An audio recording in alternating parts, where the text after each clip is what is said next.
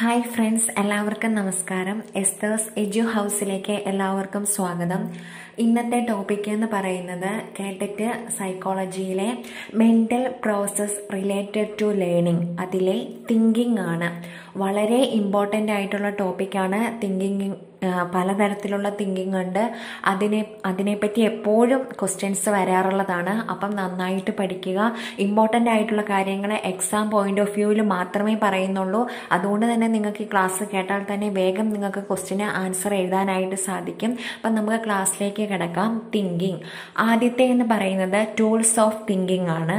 അത് first one percepts second one images or objects third one concept fourth one symbols and signs and fifth one language ഇനി percepts എന്ന് പറഞ്ഞാൽ നമുക്കറിയാം നമ്മൾ perception എന്താണെന്ന് already പഠിച്ചതാണ് ഇന്ദ്രിയ ജ്ഞാനം a mental impression of something perceive perceived by the senses viewed as the basic component in the formation of concept is called percepts.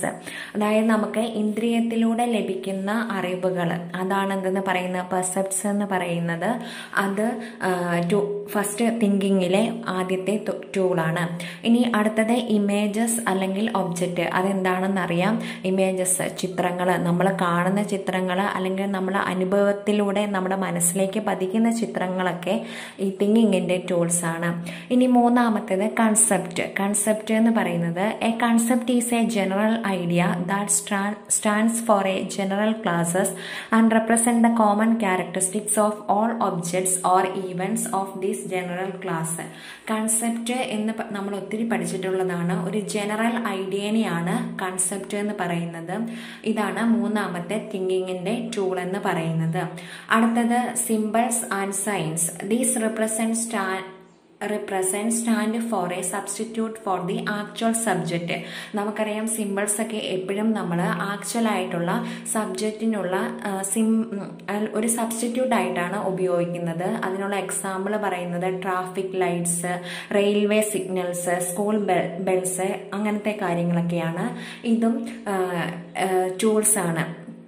തിങ്കിങ്ങിന്റെ നാലാമത്തെ ടൂളാണ് ഇനി അടുത്തതാണ് language it serves not only a link for intercommunication but also act as a tool for thinking അപ്പോൾ language നമ്മൾ മെയിനായിട്ട് ഉപയോഗിക്കുന്ന എന്തിനാണ്? കമ്മ്യൂണിക്കേഷനാണ് എന്നാൽ കമ്മ്യൂണിക്കേഷന് മാത്രമല്ല തിങ്കിങ്ങിനും എന്തുപയോഗിക്കുന്നു ലാംഗ്വേജ് ഉപയോഗിക്കുന്നു. അപ്പം ഇത്രയുമാണ് ഇമ്പോർട്ടന്റ് ആയിട്ടുള്ള ടൂൾസ് ടൂൾസ് എന്ന് വെച്ചെങ്കിൽ തിങ്കിങ്ങിലെ സഹായിക്കുന്ന ഘടകങ്ങളാണ് പറയുന്നത്. ഏതൊക്കെയാണ്? Percepts images concepts symbols and signs and language ഇനി അടുത്തത് പറയുന്നത് ടൈപ്സ് ഓഫ് തിങ്കിങ് ആണ്. അതിൽ ത്രീ എന്ന് അറിയാതെ വന്നതാണ് കേട്ടോ. സോറി ടൈപ്സ് ഓഫ് തിങ്കിങ്ങിലെ ഇമ്പോർട്ടന്റ് ഉണ്ട്. ഏതൊക്കെയാണ്? കൺവേർജന്റ് തിങ്കിങ് ഉണ്ട് ഡൈവേർജന്റ് തിങ്കിങ് ഉണ്ട് ക്രിറ്റിക്കൽ തിങ്കിങ് ഉണ്ട് റിഫ്ലക്റ്റീവ് തിങ്കിങ് ഉണ്ട് ലേറ്ററൽ തിങ്കിങ് ഉണ്ട്. ഇനി ഓരോന്നും എന്താണെന്ന് നമുക്ക് വേഗം നോക്കി പോവാം first one convergent thinking convergent thinking proceeds on the assumption that there is one single best solution to any problem and also that the solution can be arrived at on the basis of the existing knowledge. Convergent thinking എന്ന് പറഞ്ഞിട്ടുണ്ടെങ്കിൽ ഒരു correct ആയിട്ടുള്ള ഒരു problem വന്നാൽ അതിന് correct ആയിട്ടുള്ള ഒറ്റ solution മാത്രമേ ഉണ്ടാവുള്ളൂ. അങ്ങനത്തെ സൊല്യൂഷൻ കണ്ടുപിടിക്കുന്നതിനാണ് എന്തെന്ന് പറയുന്നത്? കൺവേർജന്റ് തിങ്കിങ് എന്ന് പറയുന്നത്.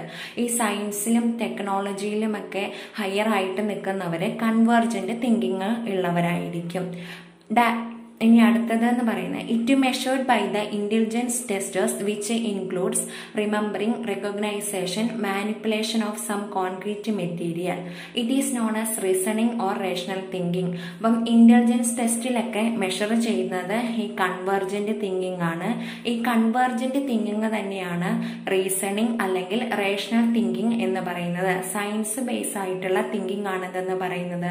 കൺവേർജന്റ് തിങ്കിങ് എന്ന് പറയുന്നത്. ഇനി അടുത്തത് ഡൈവേർജന്റ് തിങ്കിങ് ആണ്. Divergent thinking may start from the existing knowledge, but it proceeds in different directions and are not limited or bounded by existing knowledge. Divergent thinking നമുക്ക് already അറിയാവുന്ന നോളേജിൽ നിന്ന് പിന്നെയും പിന്നെയും ചിന്തിച്ചെടുക്കുന്നതാണ് എന്തെന്ന് പറയുന്നത്? ഡൈവേർജന്റ് തിങ്കിങ് എന്ന് പറയുന്നത്. ഡൈവേർജന്റ് തിങ്കിങ്ങിനെ സംബന്ധിച്ച് ഒരു കാര്യത്തിന് പല ഉത്തരങ്ങൾ ഉണ്ടാകും പല സൊല്യൂഷൻസ് അവർ കണ്ടുപിടിക്കും. ഈ ആർട്സ് ആൻഡ് സോറി ഈ ആർട്സ് ആൻഡ് ഹ്യൂമാനിറ്റീസ് ആ ഒരു ആ ഒരു മേഖലയിലൊക്കെ പ്രവർത്തിക്കുന്നവർ എന്താണ്? ഡൈവേർജിന്റെ തിങ്കിങ് ഉള്ളവരാണ്. ഇനി it measured by the creativity testers in which novelty flexibility and originality are given more weightage it is known as creative thinking imaginative or original thinking അപ്പോൾ എന്താണ്? ക്രിയേറ്റീവ് ക്രിയേറ്റിവിറ്റി ടെസ്റ്റസിലൂടെ ക്രിയേറ്റിവിറ്റി ടെസ്റ്റസിലൂടെ മെഷർ ചെയ്യുന്നത് divergent thinking ആണ്. അതുപോലെ തന്നെ creative thinking imaginative അല്ലെങ്കിൽ original thinking എന്നൊക്കെ അറിയപ്പെടുന്നത് ഏതാണ്? ഈ ഡൈവേർജന്റ് തിങ്കിങ് ആണ്.